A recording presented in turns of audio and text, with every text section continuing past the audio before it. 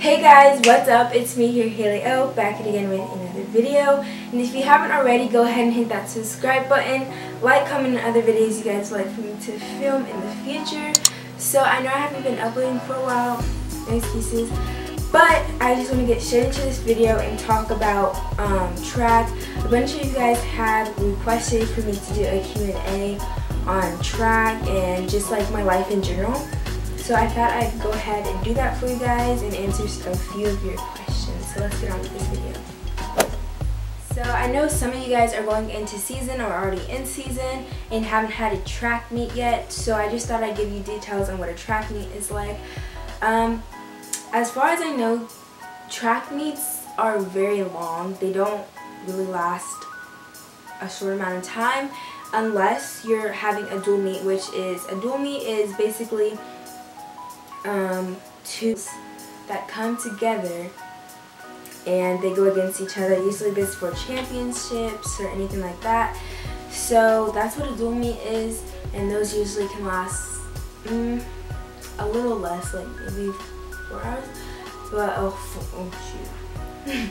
but a full track meet can last up to. Mm, 8 to maybe 3 o'clock or even more. So just make sure you eat healthy during that time span. And if you are having a track meet, like right now, I have a track meet this coming weekend. So I have to eat healthy. Don't and drink a lot of water before track meet. Maybe at least a gallon of water before that day and the days before so you stay hydrated because it can get hot out there. And make sure you just prepare your body mentally and physically. You don't want to just you know half do it and just do it physically. You know you can show up at practice and do right and still be in shape but you're not eating healthy at the same time. So make sure you just keep your body healthy. Um, for me I'm kind of a hypocrite because I do eat popcorn. I mean I'm gonna be a normal person. I'm gonna eat fast foods. I mean so just kind of wash that body out with some nutrients, you know, that vitamin D, that vitamin C, all that. Um, vitamin D, I don't know what I'm saying because vitamin D doesn't that come from the sun? I don't know what I'm saying. But yeah, so a track meet, there's a bunch of food there and don't get tempted because wait until after you're done with all your events and then eat a bunch of hamburgers. Like they have hamburgers hot dogs you know all those fruit stands and it's just like you can't help yourself. And you see all these people and you're just like why me? Why me? And your race is about to begin so you just can't eat it. So what I recommend bringing is some nuts almonds. Highly recommended because those are good for your body especially when you're about to run I don't know, they give you like a boost of energy. Um, what else? You can bring fruit. I wouldn't recommend bringing like, you know, something that fruit holds. I wouldn't recommend bringing that or eating. You can bring it, but don't eat it right before race because it may like, you know, give you side cramp. So I don't really recommend eating that. That's just for me because when I'm at track meets, I feel like I can't eat anything. I feel like I'm about to pass out. It's just not good. So I recommend eating, well, I recommend eating after if you have, if you're scared or nervous because you don't you never know what's going to happen. Also, um, track meets can run late or even happen earlier if you're an independent runner, which means you're just by yourself and you're not with a team, um, I recommend getting there earlier than you think the race is going to happen. But if you're with a team and you have your coach to text and you can tell him like, hey coach, um, what time do you think my race is going to start? So I can wake up, go to the track meet, and you know, watch a couple races, then, you know, warm up and stretch and then get ready for my race to come on. Because you got to remember guys there is um, at least for my track meets it does start off from 8th like people that are 8 years old to you know high schoolers and beyond. Well not beyond but you know what I mean like 16 so I do recommend just like asking a coach or if you're an independent runner, just, you know, schedule and organize how you plan to be there and and everything. So, yeah. Question probably a bunch of you guys have wondered is what events do I do? And for me, I do the 400, they're trying to get me run the 400, which I'm eventually starting to do. The 200, the 4x1, the 4x4, if I make the relay team, and the 100, the 60 indoor when indoor season comes around. And that's about it. I don't really do any long distance runs or races. Um, I'm trying to practice hurdles, but as far as now, that's not going to be my event. And I'm also trying to do long jump, but I hurt myself. I injured my lower kneecap, so mm, I don't think I'll be doing like field field events like javelin, shot put, high jump, uh, anything like that. I'm not gonna do because I'll just stick with my. So you guys have been asking is should I use blocks, what type of spikes to get, and basically for me, um, it took me a long time to get into blocks and learn how to finish and it still is a struggle for me now. Basically, um, since I started tracking around third grade and I started getting into blocks and I never had spikes at first when I did track. I'd always just use regular running shoes. So you never want to get in spikes without blocks. That's just going to ruin everything. You may injure yourself. So get in spikes and the next topic I'm going to be talking about is where to get your spikes and how to know which spikes are right for you because there's different types. But on to the blocks. Uh, blocks, there's different settings and I just want to tell you the basics because I'm still learning and I don't want to tell you the wrong information. So basically blocks is a thing to help you get out and get you know, in that position to run. Um, I don't recommend using blocks in a long distance race. Long distance races usually start on a kind of a slope and then they kind of go in on the first lane and then they just keep going in that first lane for the whole race. And for 400, yes, use blocks because that is a sprint race kind of.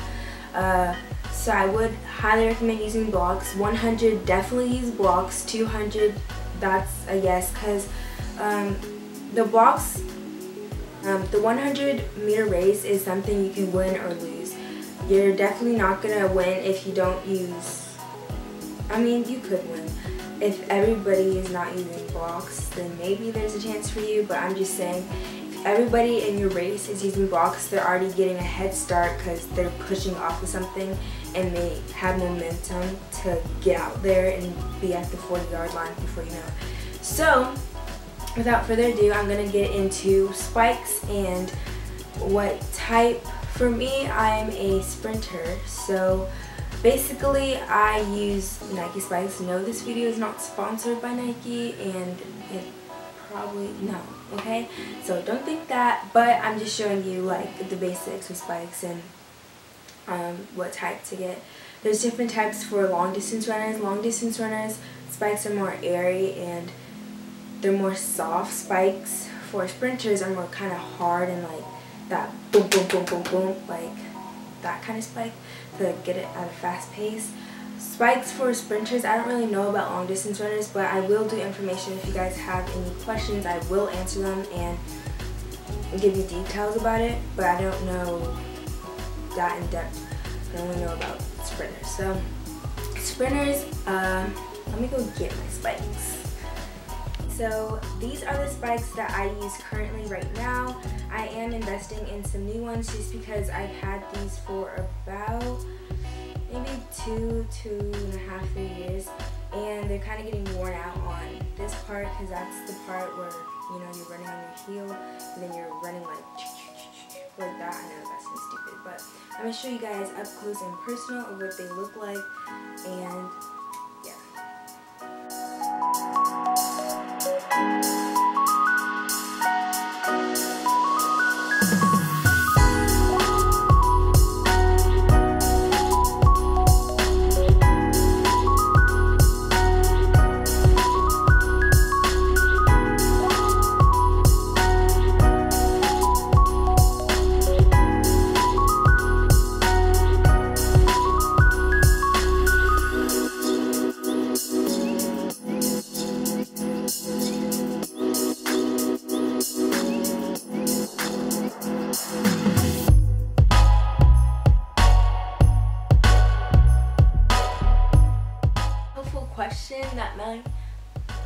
that may help y'all um, is nervousness and how to deal with it right when you're about to go and that gun's like mark is it.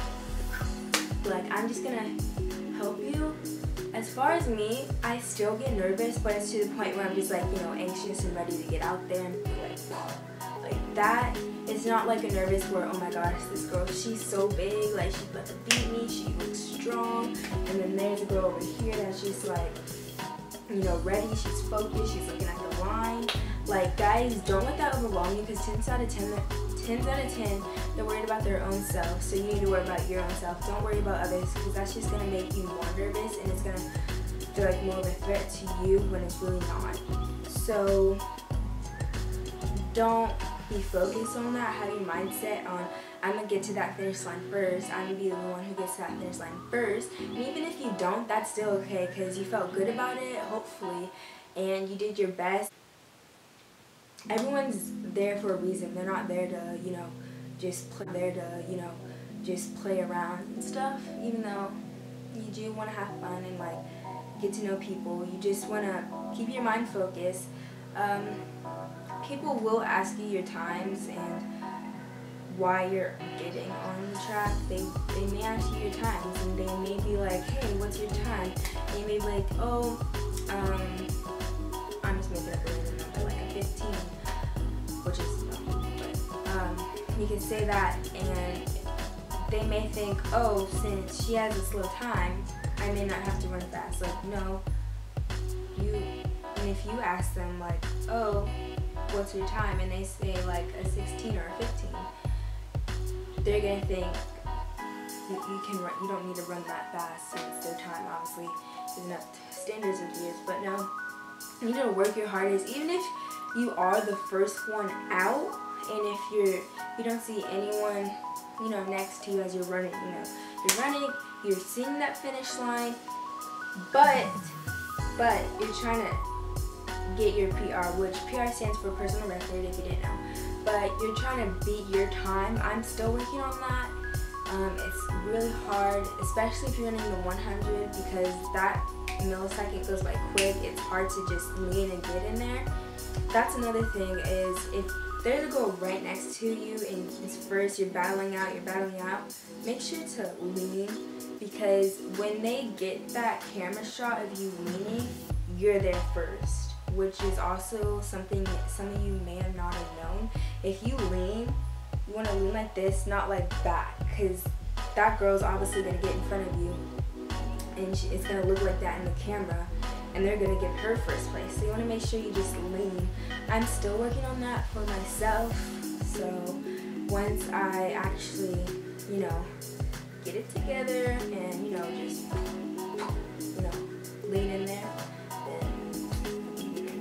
That's another way to get your time down is leaning. And make sure your strides are big and don't have your hands like this. Make sure they're like and back, back, back, and they're right at a degree eight inches from your face. And boom, boom,